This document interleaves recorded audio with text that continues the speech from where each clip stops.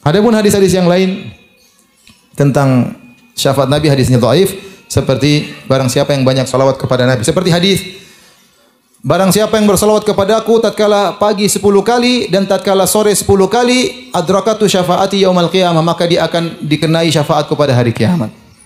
Sehingga salawat dijadikan zikir pagi petang, pagi 10 kali, sore 10 kali. Tapi ini hadisnya apa? Dhaif. Syekh Albani rahimahullah sempat menhasankan uh, hadis ini kemudian beliau tarajuk, beliau berubah pendapat, kemudian beliau dhaifkan dalam silsilah hadis al-dhaifah. Dan hadis juga didhaifkan oleh Sakhawi, ya, muridnya Ibnu Hajar rahimahullah taala. Jadi hadisnya dhaif. Tetapi tentu kita tahu bersalawat kepada Nabi adalah amalan yang saleh. Kita bersalawat kapan saja. Tetapi hadis khusus menjelaskan salawat menjadikan seorang dapat syafaat hadisnya dhaif.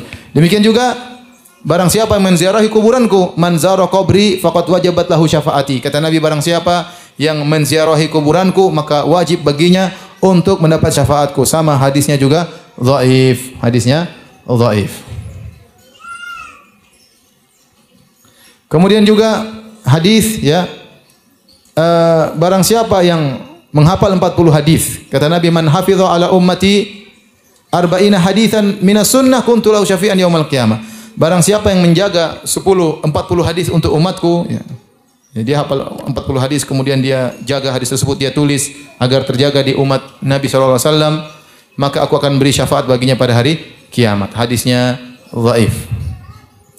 Kemudian juga Barang siapa yang mencintai keluarga Nabi sallallahu alaihi wasallam. Dalam hadis Nabi berkata kepada Al Abbas, "Man ahabbaka nalathu syafaati." Siapa yang mencintai engkau wahai Abbas bin Abdul Muttalib, dia akan mendapatkan syafaatku. Wa man abghadaka fala nalatu syafaati. Barang siapa yang benci engkau, maka dia tidak akan mendapatkan syafaat. Dan kita tahu keturunan Abbas juga Ahlul Bait. Saya di Saudi punya kawan-kawan Ahlul Bait Habaib dari keturunan Hasan ya. Ada juga guru saya juga dari keturunan Hasan atau Husain dan saya juga punya sahabat Habaib dari keturunan Al-Abbas bin Abdul Muttalib. Ya. Maka Habaib adalah keturunan Bani Bani Hashim. Ya. Bukan terbatas pada keturunan Nabi Muhammad SAW, tapi keturunan Al-Abbas bin Abdul Muttalib juga adalah Ahlul Bait dan mereka punya juga sampai ada masih sampai sekarang.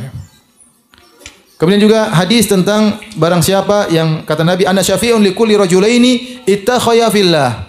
Aku akan beri syafaat kepada setiap orang, setiap dua lelaki yang mereka bersahabat karena Allah Subhanahu wa taala. Hadisnya juga dhaif.